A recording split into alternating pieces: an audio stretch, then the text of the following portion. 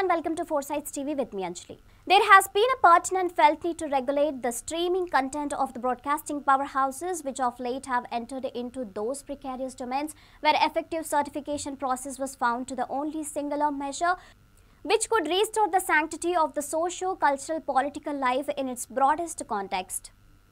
And the policy draft to this effect has not only fulfilled the long-standing measure to contain peculiar forms of content which could stimulate racial, religious, regional and likewise the linguistic differentiations coupled with eventual discriminations and create a void in the progressive society leading to chaos all across. Here's a special report from 4Sides TV.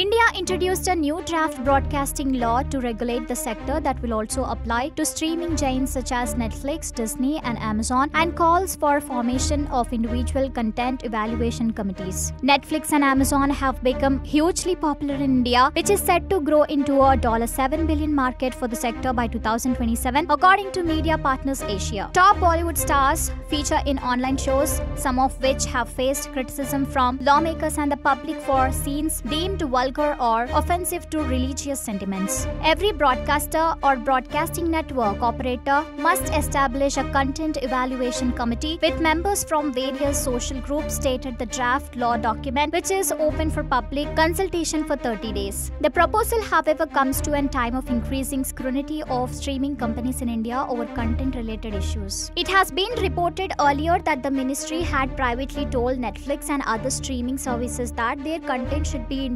reviewed for obscenity and violence before being shown online. Though all films in Indian cinemas are reviewed and certified by a government appointed board, streamed content is not. Under the new proposed law, the federal government can define the CECS size, quorum, and operational details, and only those shows shall be broadcast that are duly certified by such a committee, the draft law stated.